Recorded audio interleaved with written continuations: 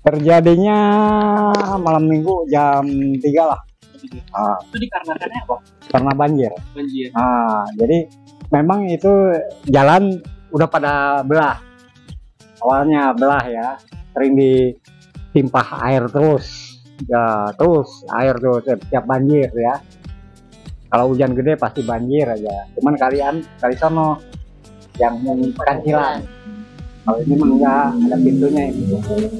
Sana aja yang banjir langsung nimpah ini kena jalan. Lagian kan di situ ada pos ronda. Nah, pos ronda karena dikarenakan jalan udah belah, jadi udah miring gitu sebelah. Jalan jadi miring, masuk air terus kan, didorong sama air mas. Jadi lama sih itu. Ya baru baru baru minggu ini ya.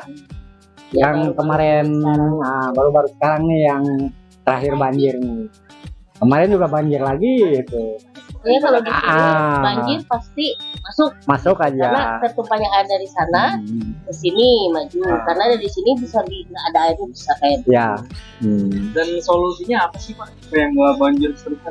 Solusinya sebenarnya mah memang kalau di sini mah ya, di sini mah ada pintu bisa dikecilin ya. Bisa. Paling juga ada pintu kedua, pintu air yang di Kebon Manggis itu. Eh, kampung Kebon Manggis ya. Pintu kedua. Jadi paling dibuang ke nih ke bawah, ke bawah sana. Bisa dibuka itu solusinya mah. Jadi nggak numpuk di sini. Ya, jadi istilahnya jadi nggak terlalu inilah naik gitu.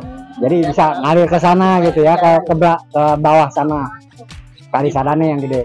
Sampah juga kan ya Pak jadinya. Sampah perlu diseruk lah, diangkat. Jadi di sini memang susah ya solusi penampungan sampah. Nggak ada pembuangan sampah. Nggak ada Di sini nggak ada tempat ini ininya penampungan sampahnya. Banyak juga kan. Iya. Ya. Karena sampah dari sana juga Iya. ke sini akhirnya dari kita kita juga ke sini. Jadi walaupun sampahnya dibersihin pun tetap aja Ya. tetap aja pasti sampah mah pasti naik ke sini nih. Ah,